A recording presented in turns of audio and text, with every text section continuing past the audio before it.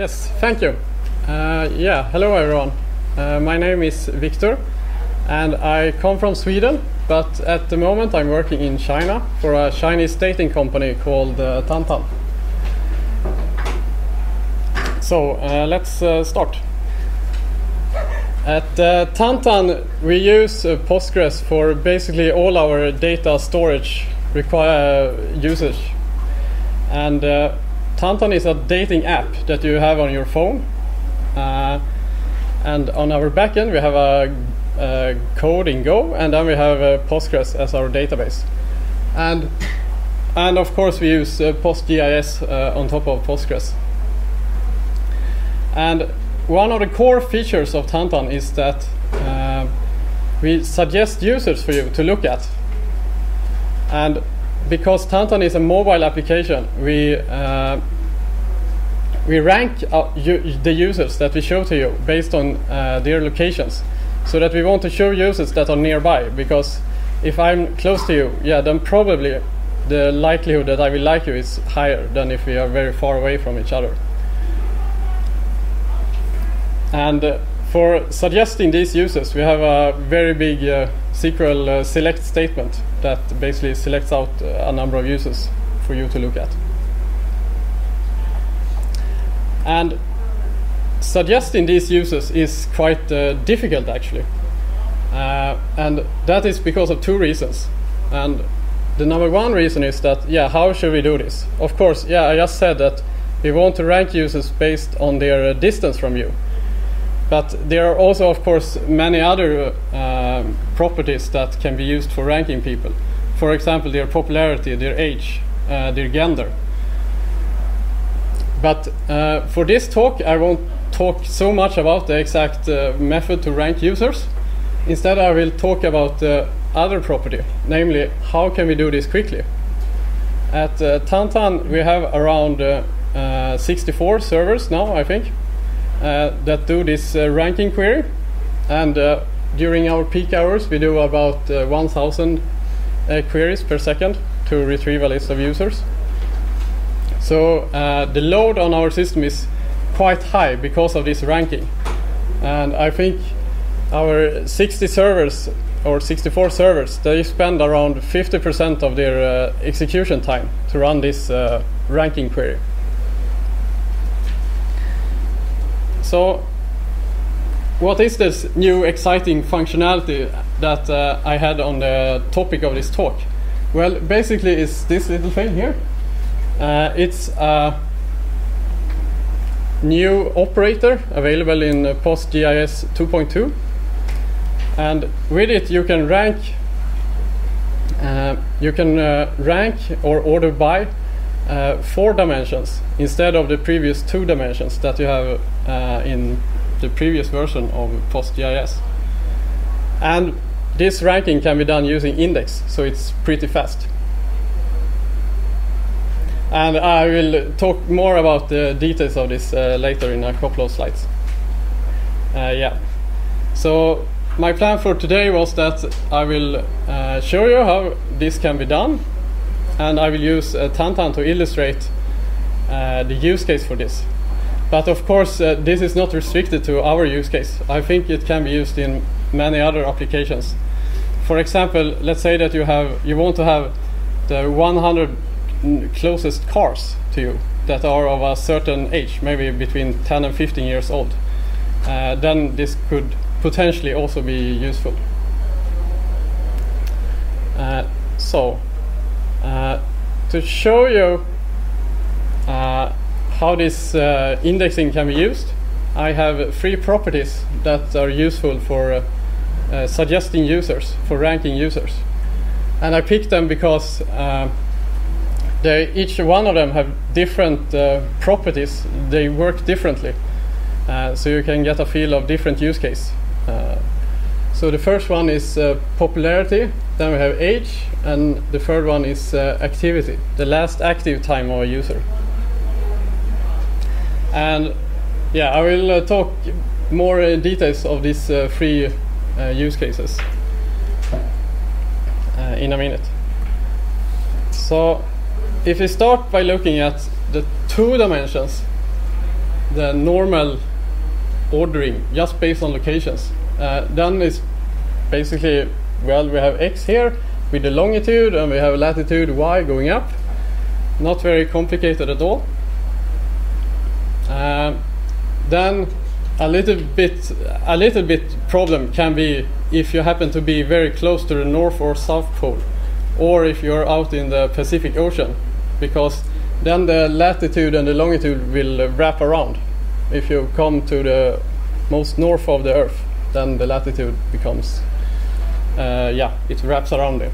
And the same with the longitude. If you pass the uh, what's uh, yeah around the earth then it will wrap around from positive to negative. But for Tantan's use case uh, we only care about well basically we don't have any users in the north or south pole and we don't have any users in the middle of the ocean. So it's not very relevant for us uh, which is very good so to show you this more in detail I have uh, created a little table here uh, I, users that contains uh, uh, I pre-filled in my examples. I have pre-filled it with around one million users from our production system, and it basically contains yeah we have a user ID, birthday, the location, active time, and uh, something called popularity. And the interesting thing here is the uh, location that is a geometry type, which basically store this uh, uh, x and y coordinate uh, in a very basic way. And finally, we create an index of this location so that we can use two-dimensional uh, indexing uh, on this uh, column. Uh, I should also mention that PostGIS have a, another data type called geography that will take into account the, the roundness of the Earth. Uh, but it's a little bit more limited in the functionality it supports and it's not as fast. So for now, for here, I will just go with geometry, and it's good enough for for these kind of use cases. Maybe if you want to deal with, for example, plotting a flight path from one city to another, yeah, then it will be more important with uh, uh, geography. But for this user ranking, uh, geometry is fine. and then selecting from this table uh, becomes like this so we select from this table and we order by how far away they are from us and since we are in Singapore so I just use the X and Y of Singapore. And then a little limit of 10 so we take the 10 closest users to us here. And then by using this operator uh, this query will operate very fast. And uh, it runs in about yeah less than one millisecond uh, for uh, my million test users.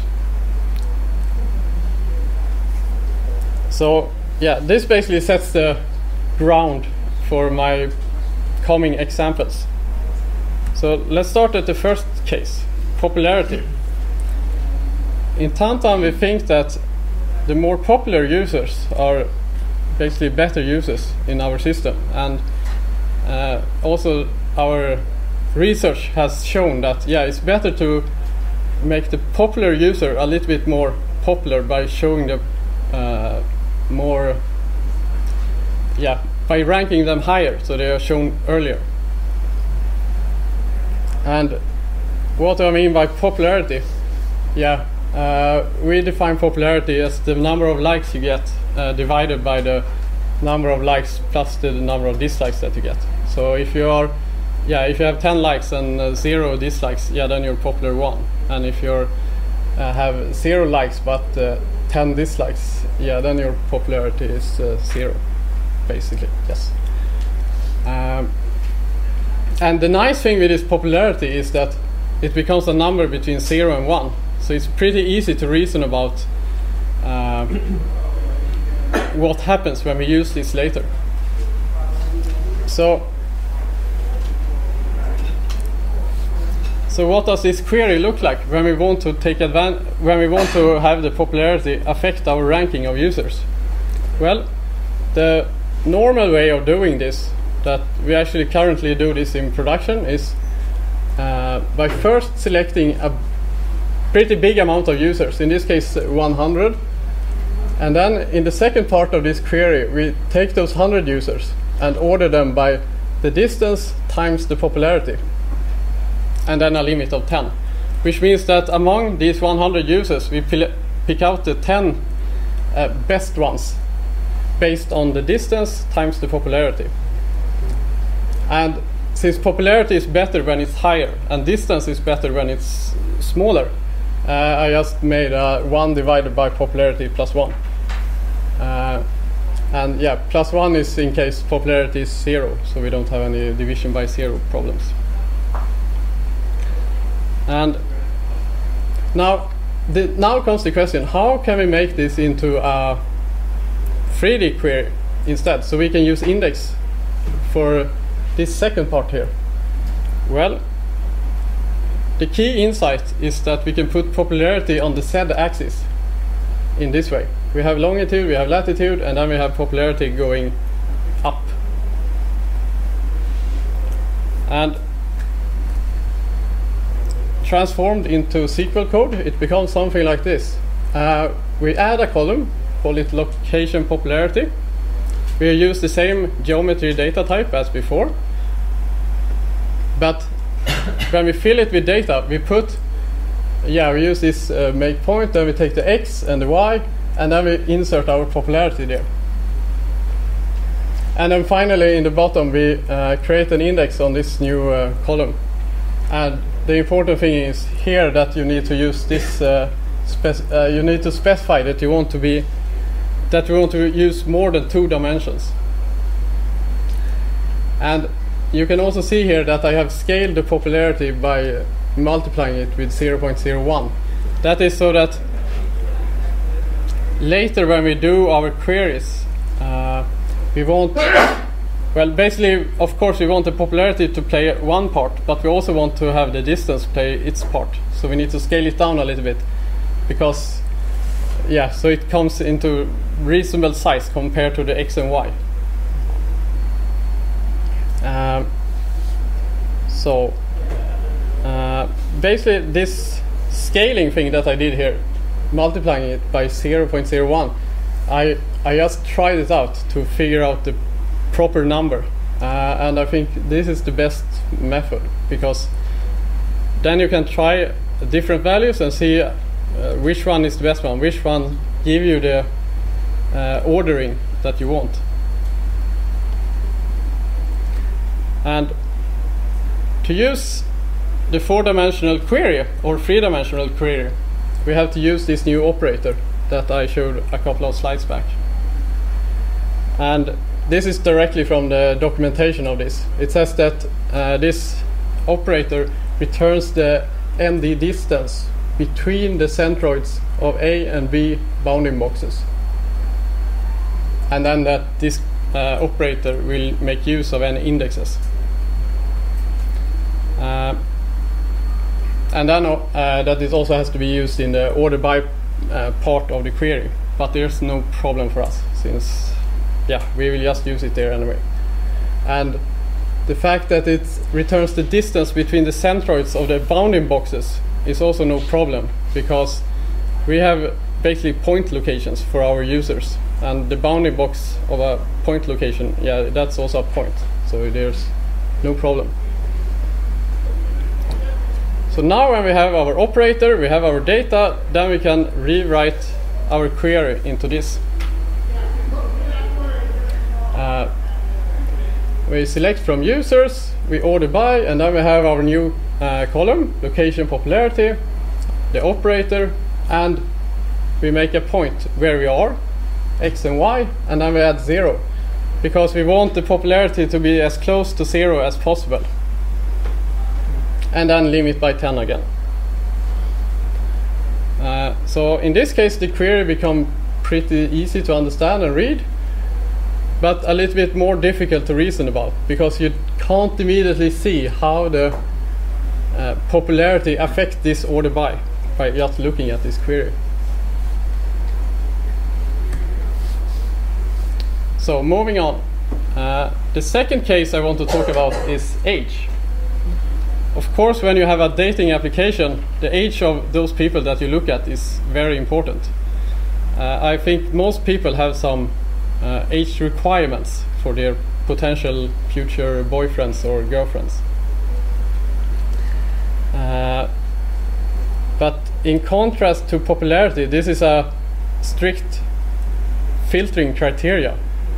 We don't use the age to show younger people uh, earlier or older people earlier. Instead, we are just interested in either you are within this age range or you're not. So, if you just look at our table again, uh, we can see, yeah, I had a birth date as a date column here, uh, which we can use for this query. So, the normal way of doing this query would be to just add a where clause where age of the birth date is between 20 and 30 years. And actually this looks this works very fine. It works perfect in most cases. The problem is that it can create a problem in some special case. And the problem uh, can be seen on this slide. Some users uh, like to look at strange ages. In this case, uh, 74 and 75 year olds, or actually, yeah, between 74 and 75. Um, and this creates a pretty big problem. Uh, and you can easily see this problem in this next slide. Here I have uh, done uh, explain analyze on the query uh, to show what it does. And we can see here that it removed uh, almost 200,000 uh, rows by this uh, order by, no, by this uh, filter here. And then the execu execution time was 500 milliseconds. And this is of course uh, not very good. Uh, it's actually a pretty big problem and a real problem. Uh, on my slide here I have a, a screenshot from WeChat where we had a small conversation. This was from the day after we allowed 16 and 70 year old people to sign up on Tantan.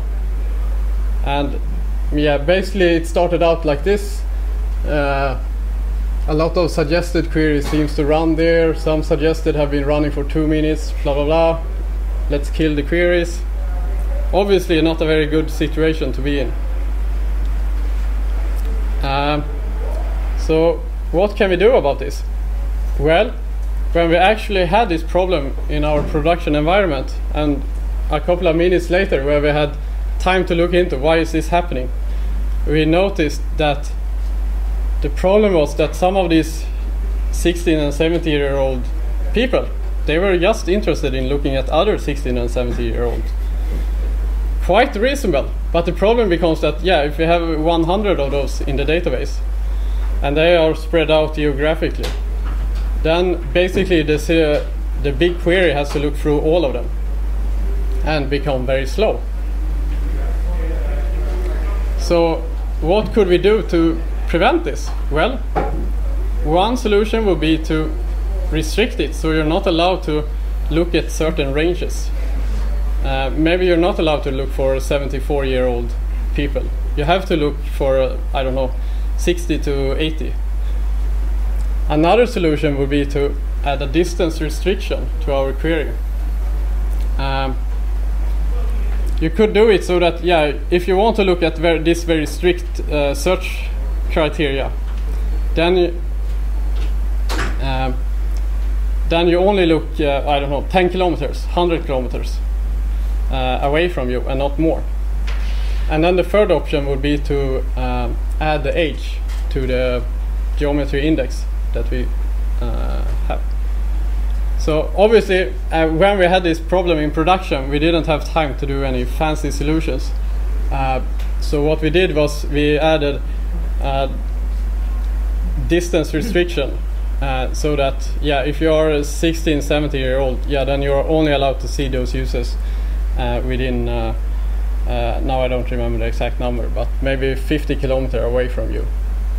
And that took care of the problem uh, for that moment. But for this presentation, of course, we want to add the age to the geo index. So how can we do that? Well, just as for popularity, we add a column, location age, we fill it with data, and then we create an index. And when filling it with data, we take the x, we take the y, and then we take uh, the year from your birth date and divide it by uh, 100,000. And this is because later when we do the ordering, we don't want the age to affect the ordering, but we want to have the age inside so that we can restrict the query uh, to only look at a specific uh, age span. Uh, so if we move on to the query, it uh, looks like this. Um, we select from users, and here comes the interesting part, where this uh, location age is within this uh, triple and operator means that location age has to be within and this uh, bounding box that we create. And here I have defined a bounding box to include every possible uh, x and y value. Uh, we see here from x can be between 180 and minus 180, y can be between 90 and minus 90. So it includes all of them. Uh, but then for the year, your birth date, we only include those uh, 74 and 75 year old people. And as you see, I have to use the same uh, scaling factor here. Uh, and then of course we use the same uh, ordering with this uh, four dimension, yeah, the four dimensional ordering. And if we look at the query plan, we see that our problem has been fixed. The exec execution plan over here is down to 19. And we can see that we use an index condition to uh, do the filtering. So yeah, everything looks fine. Yep. Yeah, why, why do you use, um, can you go back to the abstract? Why do you use a bounding box and 1980, 1990? Shouldn't be restricted to China or Singapore? Just Yeah, for me, for my example here, um, I basically took all the positions because I didn't want to think too much about it. I, in our application, we have uh, actually we have a setting where you can decide how far away you want the users to be from you. So you can be, let's say, uh, 10 kilometers away, 20 kilometers away. Yeah, you can decide for yourself you, uh, which range you want to look at. And yeah, for this example, I just took everything because then I don't. Otherwise, let's say that I only want to see the users within 10 kilometers from me. Uh, then it's a little bit tricky to calculate what these numbers should be in my box here. So then I would have to explain that on a slide as well. So yeah, that's the reasons why I uh, took all of them.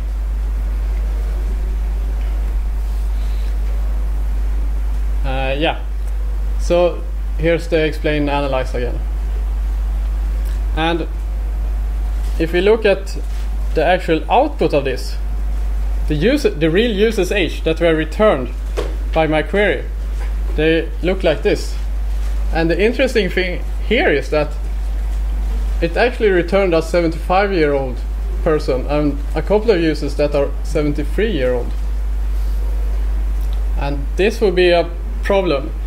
Maybe not for those users that are looking for 74 year old Be- because uh, I would assume that they can also handle a 75 and 73 year old guy. But of course, if you're looking at, let's say, you're looking at 18 plus, and then you get a 17 year old, yeah, that's not so good. So we need to do something about this. And I think the reason for this problem to happen is that uh, the geo index is uh, lossy. And also we scale the age to a very small number. And those two things uh, probably create this problem that is not exact. Uh, so what we need to do is basically we add back the um, the old where statement that where age between 74 and 75 and this will fix the problem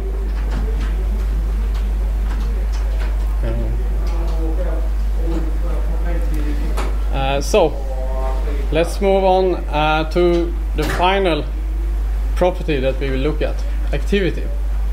So activity is the last active time. And this is interesting because uh, if I like you and you like me and yeah then we can start chatting. And then it's it's of course good if uh, if we are both active at the same time. I don't want to if you were active in our app uh, one month ago, yeah, if I send you a message, you probably won't reply to me. So uh, that's why we also want to rank by activity. And the old style, the normal style of doing this query would be just as popularity. We select out 100 users, order by the distance, and then among those 100 users, we take the distance times uh, the activity time. How many seconds ago were you active? Did I do it? Yeah, maybe I have some small mistake here in my slide. Anyway. Uh, yeah, let's move on.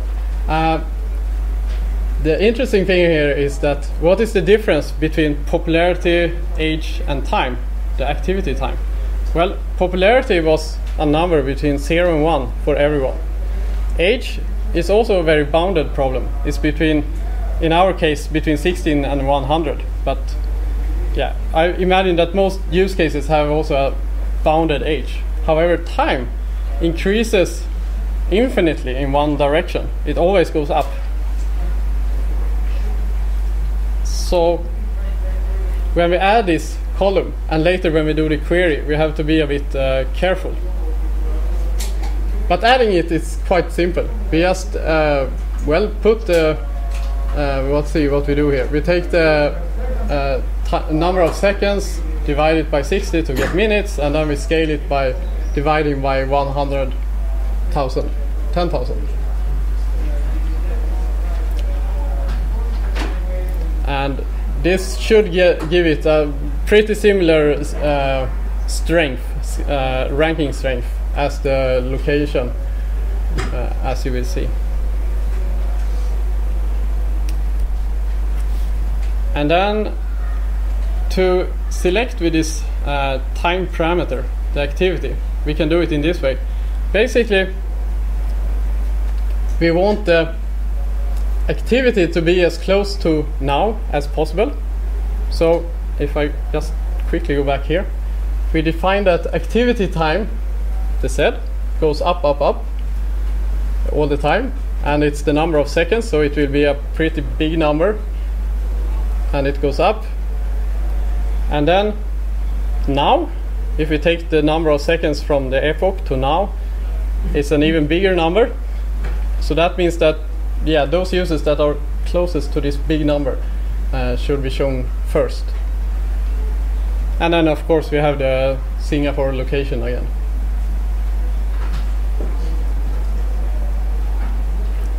Uh, so what have we looked at so far? If we take a little bit of a review.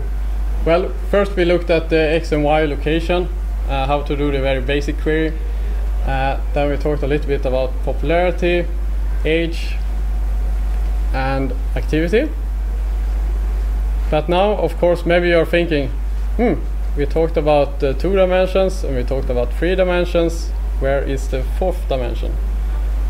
Well, since I now explained the basics of how to add one of these three to the as the third dimension, I think you can pretty easily understand what my plan is for utilizing four dimensions basically we just pick two of these popularity age and activity and uh, in my uh, next slide here I have picked popularity and age and just as before we first add a column geometry with location popularity and age we fill it with data, and finally we create an index. And popularity, yeah, that was calculated in this way, and then the age in this way. So we just put them there. Popularity becomes the Z, and uh, the age becomes the M, or the fourth dimension. And then for the actual query, it's pretty simple. Uh, the ordering here, we want the popularity to be uh, close to zero again. And for uh, the age, well, basically we don't care, so we put zero there as well. And then for our search box, uh, of course we must allow for any popularity in that one. So yeah, here I just took from 100 to minus 100. But since popularity can not be such a big number, we could have used smaller numbers as well. Um, so now when you have looked at this, maybe you are curious, do we get any benefit from doing these pretty complicated things? Well, I made some benchmarks uh, in uh, my office. And yeah, this is from a table I, I used uh, around 1 million rows from our production and then uh, ran these different queries. In the bottom here we have the normal location query. It's extremely fast. And then the other queries. And basically what we can see here is that yeah, we get a pretty big benefit in the location plus age, where age was the 74 year olds. Because yeah, actually it doesn't even fit on this uh, in this graph here. But in all the other cases, uh, our query becomes quite a bit slower. Uh, yeah, we have the four-dimensional query, it's 50, and this one here, location and popularity, 33, 34. And yeah, basically everything except the location activity query becomes very slow, I would say. And as I said in the beginning of our talk, uh, at Tantan we have uh, 64 servers doing this query. And if we increase the query time by like 10 or even more, then it, maybe we don't can't afford 10 times more servers. So this is a bit of a problem actually. So the query times did not really impress us here. Uh, maybe if we look at the index, it gets more interesting. Um, this is the different indexes that we created. In blue, I have the indexes when they are fresh, and in orange, when I made them a bit bloated. I updated every row in the table. Um, yeah, and then it becomes like this, and we can see that yeah, the index sure it increases a little bit. Uh, but the difference between two two dimensions and three dimensions is not that big. So if the query times were okay, yeah, then this indexes, yeah, they would the size would be fine. Uh, we need a little bit more RAM, but yeah, it will be okay, I guess.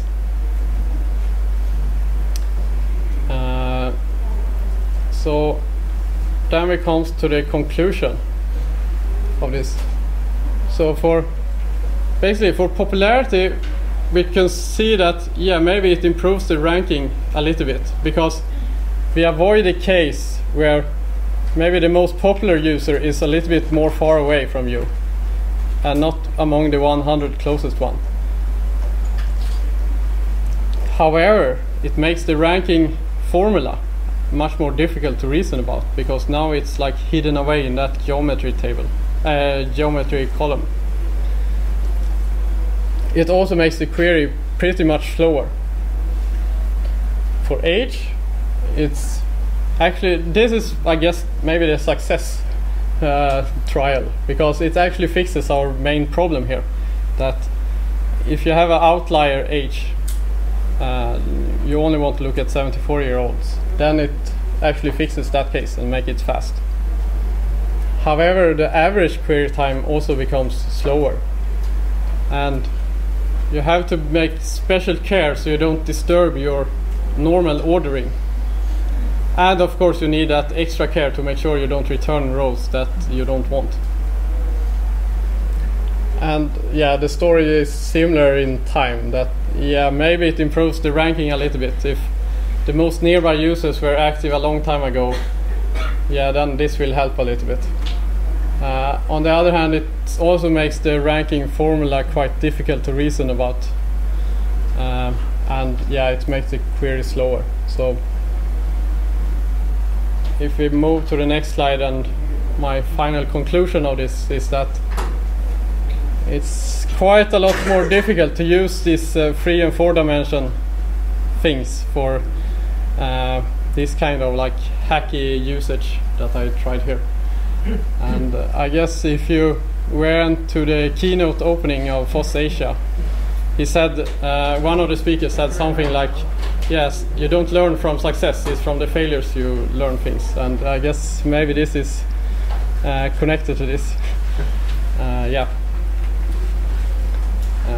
Uh, basically, yeah. If you want to use this, I think uh, the best path forward is to at least try it out quite carefully and test a lot first. Uh, yeah, that's uh, basically it for me.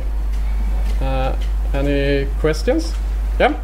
I have two questions, please. Yep. Uh, roughly, how many users, and roughly how fine a grain on your location? Like, is it street address or is it town or? No, we have the uh, location reported by your phone. So basically, location. Okay, thank you. so How that is users? basically like yeah, I don't know. One, sometimes it's 100 meters, sometimes it's 10 meters. Yeah. How many users? Uh, we have around two and a half, three million users per day. Thank you. So yeah. Actually, this, uh, this share my experience with uh, uh, trying to uh, check, uh, improve the performance of trying to you know, search for special query. Yeah. It's like we're, actually working with the uh, large volume of data Mhm. and trying to search with this query search. What we're, what we're doing is actually we're, we're trying to uh, use the uh, user's uh, uh, political boundaries or geographic boundaries Uh huh. and index that based on the boundaries, and then we define the, the search, where you just do something like an overlap All right. expression. Then you, can minimize the. Uh, Uh, yeah. Of course, it's a little bit, uh, yeah. uh, For this uh, presentation, I just focus on this uh, three, four uh, dimensional indexing things. In in Tantan, for example, if you have already looked at someone, you have already liked or disliked someone, then we have to filter out those users. And uh, if if I only want to look at girls and you're a guy, then I shouldn't see you. But if I like you, anyway, and then for you, maybe you are not interested in looking at me. So then, yeah, basically the whole query becomes pretty complicated, and uh, yeah, uh, it helps in some cases, but at the same time it can become troublesome. Um, for the location wise, right, is first recorded or is it on a real time basis? Uh, basically, we update the location every five minutes, or if you move more than uh, uh, 200 meters, I think. So basically, every request that the phone is doing uh, to our uh, backend servers uh, sends the location as well, and then we check if, if is this new location uh, like did you change your location, uh, and if you did, yeah, then we update it. I'm also doing with all this kind of geospatial stuff. So Yep. basically, for, for us, right, uh, we encounter some issues as well, like similar. Maybe it's best to sort of buffer within certain region or maybe squeeze in the bounding box even specific location. Right. Maybe it's The, problem for us becomes that if you have very restrictive searches, uh, for example, this 16, 17 year old, if you are the one of the only 16 year olds in the whole of China, and there are 1 million other users in China, then of course we want to return, I mean, we want to give you something to look at. So if you yeah, so then we can't really restrict your search range too much because uh, it's not good for the user experience. Because yeah, if you don't get any users to look at, then you can't do anything in the app, uh, basically. Uh, yeah.